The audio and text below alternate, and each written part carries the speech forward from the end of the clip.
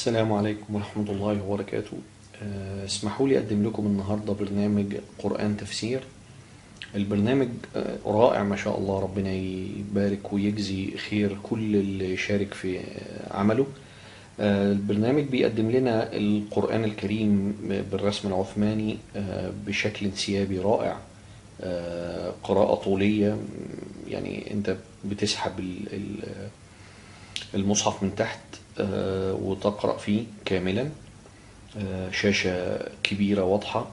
آه، ممكن تنتقل للصورة اللي انت عايزها عن طريق الضغط على اسم الصورة أو الجزء. الصورة هتختار اسم الصورة اللي انت عايزها الجزء هتختار أي جزء انت عايز تبدأ تقرأ فيه. خلونا نقرأ مثلا يعني نختار سورة يوسف.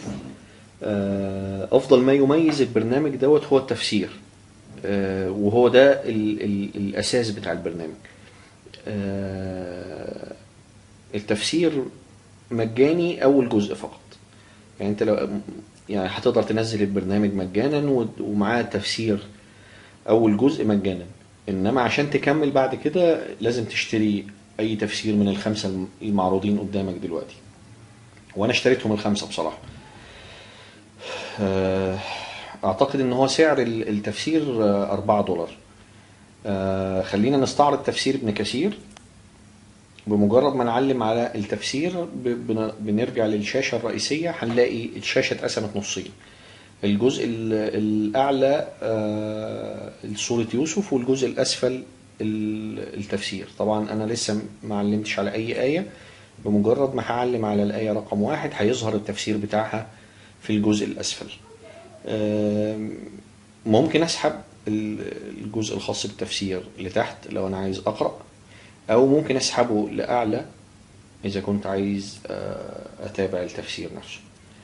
خلينا نخليه متوسط كده عشان نشوف ال- الحركة بتاعة ال- التفسير. لو أنا بدأت أق- أقرأ واخدين بالكم إن أنا لما بدأت أتحرك بالتفسير هو بدأ يتحرك آه، على الآية اللي أنا واقف عليها.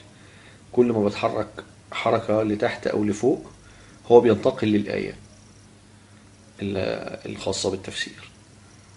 بصراحة يعني مجهود رائع ووجود التفسير في القرآن على الموبايل بتاعك ده بيبقى شيء مميز.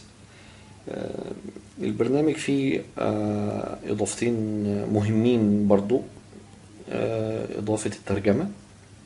ترجمة معاني القرآن بعدة لغات وإمكانية تحميل المصحف آه، مقروء بأصوات عدة من العدد من عدد من المشايخ عبد الباسط الشاطري السديس والشريم محمود خليل الحصري وغيرهم من المشايخ.